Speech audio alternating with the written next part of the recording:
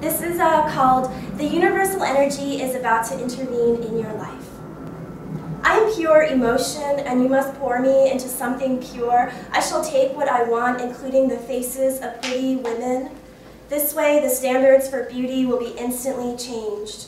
This way, the standards for faces will want new standards. The nerves in each face will stand on innards. Inside me is every pregnant belly, and all the aborted children play in the same playground. They don't care that they were aborted. They don't care that the stars were not created for them. They don't care that they had selfish mothers who could have been transformed if only they had not aborted their children.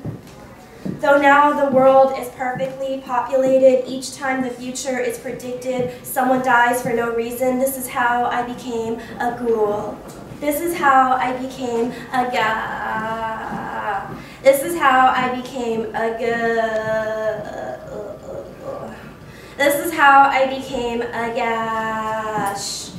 Drinking the goo goo water because of goo goo, I decide that no one lives for anyone else. I will live for me. I will die thanks to unconditional love. I want to ask my mother why she loved me. I want her to ask her mother why she loved her. I want her mother to ask her mother why she loved her. There are too many centuries of mothers loving their mothers, and I will be the first one to love myself more than I love my mother.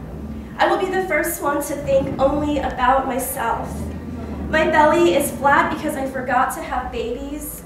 I said if I live to 99, I am gonna eat mercury.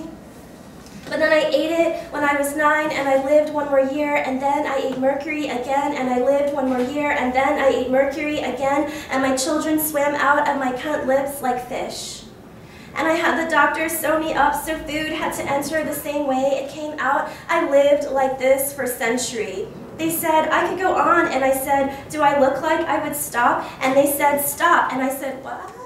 And they said, Stop. And I said, What? This is what someone told me was mortality in a nutshell, and I didn't want to believe it. But what else did I have to believe? What else is there for us? Those of us who cannot breathe, those of us who cannot have babies, we want to mean something to the world. We want to be told, stay, you are needed, and we are needed. Someone needs us. They called for us to live this way, and so I did, and so I did, and so I did.